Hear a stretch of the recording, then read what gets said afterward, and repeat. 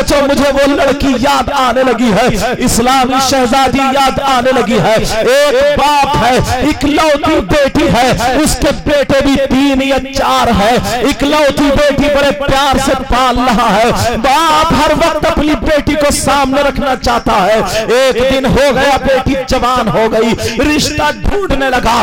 اچھا رشتہ مل جاتا ہے۔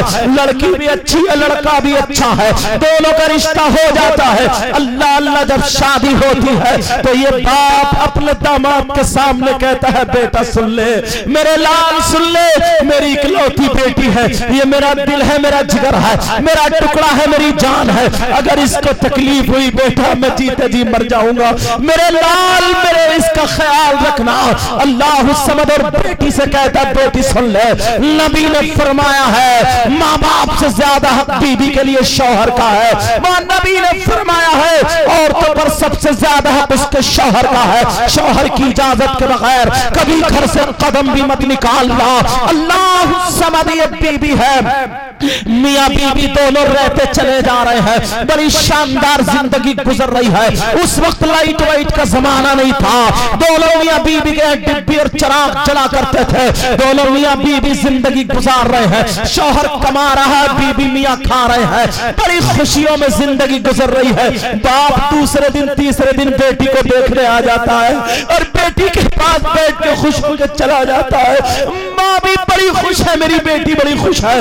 باپ بھی بڑے خوش ہے میری بیٹی بڑی خوش ہے۔ لیکن اب وقت یہ آ جاتا ہے کہ اس کے داماد کا کام بند ہو جاتا ہے۔ یعنی اس کے شوہر، اس لڑکی کے شوہر کا کام بند ہو گیا۔ دونوں میاں بی بی تھوڑے سے پریشان ہونے لگے۔ دونوں میاں بی بی اب مشورہ کر رہے ہیں۔ کہا، کام کیوں نہیں چل رہا ہے؟ شوہر نے کہا سنو میری بی بی اگر میں یہاں رہوں گا تو کام نہیں چل رہا ہے۔ مگر کیا کروں، اگر آپ اجازت دے دو، تو میں کہیں دوسری جگہ چلا جاؤں، میں باہر چلا جاؤں۔ بی بی نے کہا، جیسی تمہاری مرضی چلے جاؤ۔ بی بی کے کہنے سے چلا گیا، لیکن شوہر بولا، اگر میں چلا جاؤں، تو پھر تمہارا میں تمہارا میکا تو گاؤں کا ہے۔ میرے گھر میں چراغ کون جلائے گا؟ میرے گھر میں ڈبی کون جلائے گا؟ میرے گھر کو روشن کون کرے گا؟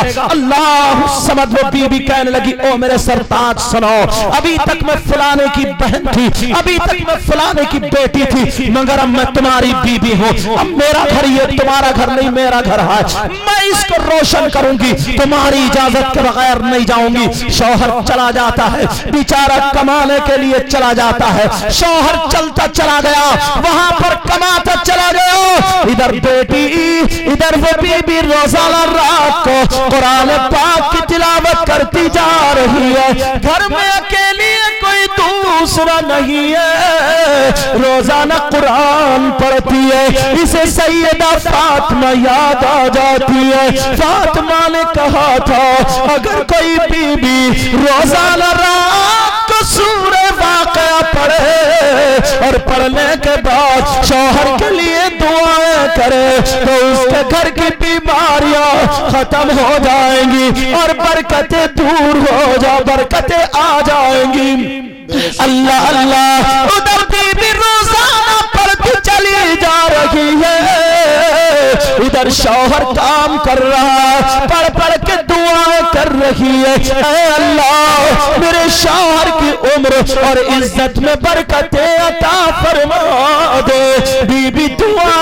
رہی ہے۔ شوہر ادھر بی بی کو یاد کر رہا ہے۔ موبائل کا زمانہ نہیں تھا، فون کا زمانہ نہیں تھا۔ دل دل میں یاد کر لیتے ہیں۔ اللہ اللہ زمانہ گزرنے لگا۔ ادھر اس لڑکی کے باپ کی طبیعت خراب ہونے لگی۔ اکلوتی بیٹی ہے۔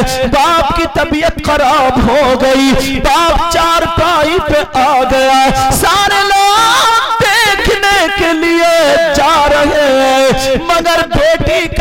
نرم ہوتا ہے۔ بیٹا گھر میں رہ کر کے اتنی جلدی نہیں پہنچ پاتا۔ جتنی جلدی بیٹی آ جاتی ہے۔ اللہ اللہ، وہ لڑکی کو پتا چلا۔ تمہارے باپ کی طبیعت خراب ہے۔ اب لڑکی پریشان ہے۔ میرے گھر میں میرا شوہر نہیں ہے۔ میں اجازت کس سے لوں؟ میں اپنے باپ کو کیسے جاؤں؟ اتنی پیاری بیٹی پریشان ہے۔ مولا کو ٹھیک کر دے نماز پڑھ پڑھ کے دعائیں کر رہی ہے۔ ادھر باپ کی زیادہ طبیعت خراب ہو گئی۔ اللہ جب باپ کی طبیعت خراب ہوئی، بھیا آ گیا۔ بہن، باپ کی طبیعت خراب ہے، چلو۔ بہن بھائی کو چپٹ گئی، چھوٹا بھائی تھا، پیار کرتی تھی بہت زیادہ۔ بھائی کو چپٹ گئی اور چپٹنے کے بعد کہنے لگی کہنے لگی، بھیا، جس وقت میرے باپ نے رخصت کیا تھا، یہ کہا تھا، بیٹی، شوہر کی اجازت کے بغیر گھر سے قدم مت نکالنا۔ میں کیسے جاؤں کیسے جاؤں بھیا؟ باپ کو بتا دینا۔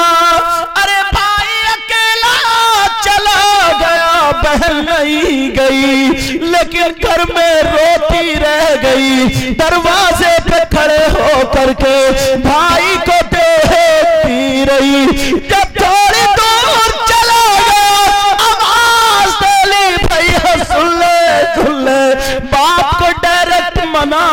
کرنا ورنہ میرے باپ کی طبیعت اور خراب ہو جائے گی۔ کتنا خیال رکھ رہی ہے۔ وہ باپ کہہ رہا ہے، میری بیٹی کو بلا دو۔ سارے لوگ دیکھنے جا رہے ہیں۔ باپ گھڑی گھڑی کہہ رہا، میری بیٹی کو بلا دو۔ میرے لختے جگر کو بلا دو۔ میرے چاند کو بلا دو۔ میرے دل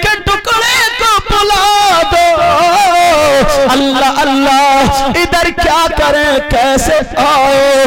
پھر ماں نے بھائی کو بھیج دیا جا چلا جاؤ لیکن بہن پھر بولی، بھیا کیسے جاؤں؟ ادھر باپ کا انتقال ہو گیا۔ بیٹی گھر پہ رہ گئی۔ بڑا منظر تھا۔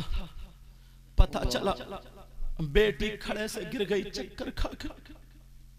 کہنے لگی، یہ وہ باپ تھا جو رخصتی کے وقت پہ چکر کھا کے گر گیا تھا۔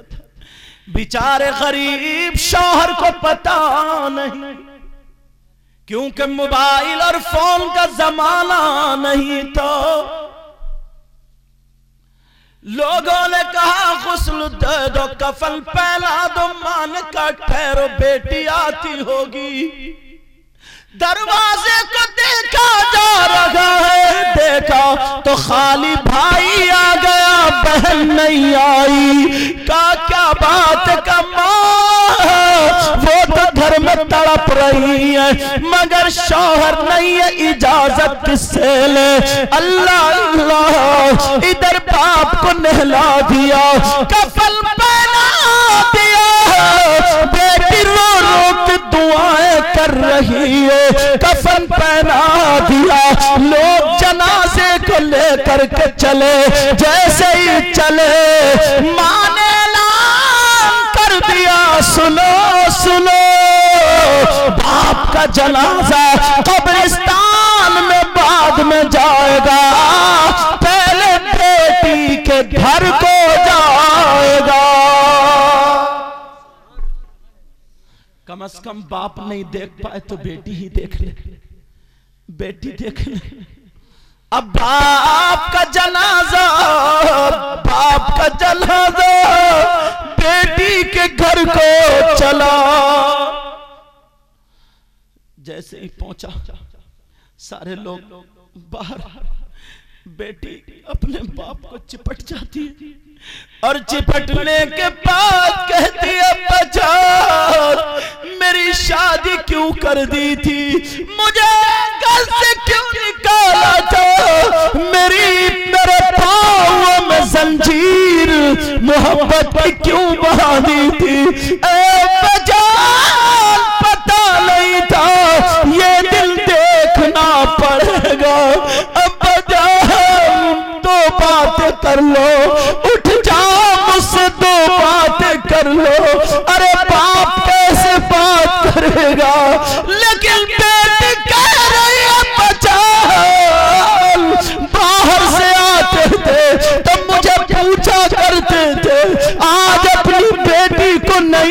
پوچھ رہے ہو؟ اللہ اللہ بیٹی نے اپنے باپ کی پیشانی کا چون بوسا دیا اور بوسا دینے کے بعد اپنے پاؤں، اپنے باپ کے پاؤں کو چوما اور پاؤں پکڑ کے رو رو کے کہنے لگی، مولا پروردگار میرے گناہوں کو معاف کر دے۔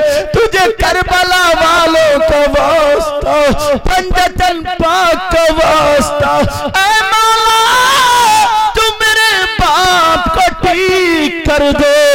میرے باپ کے گناہوں کو معاف کر دے۔ اللہ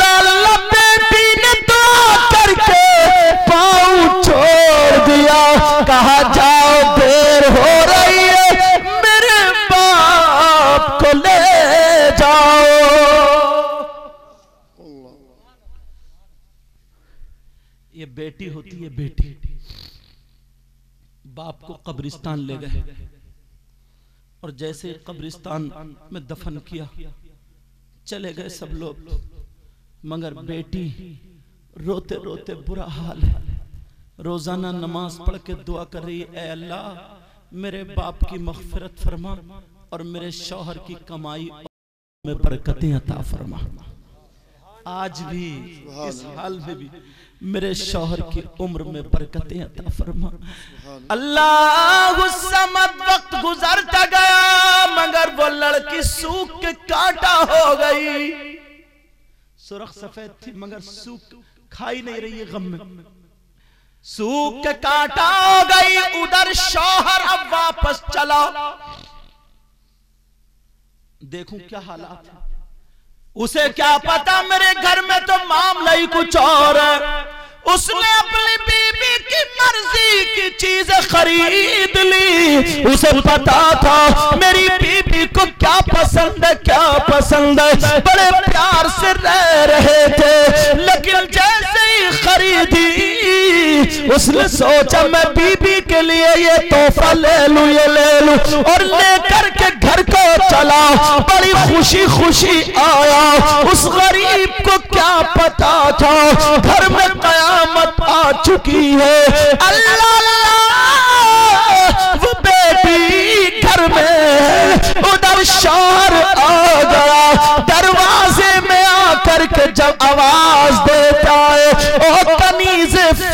فاطمہ جیسے ہی آواز سنی، اس نے سوچا، پہلے دکھا دوں کون ہے۔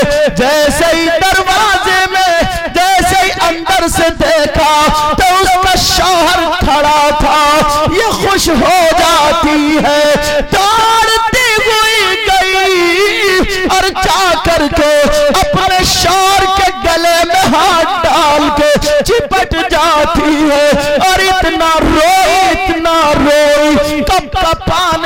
لگی۔ شوہر کے سینے پہ ہاتھ رکھے۔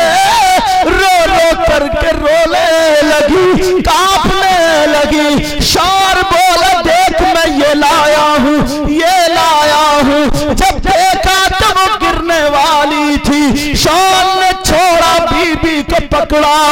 کہا بات بتاؤ کیا بات ہے بولو کیا پریشانی ہے وہ رو رو کر کے کہنے لگی۔ میرے سرتاج میں برباد ہو گئی۔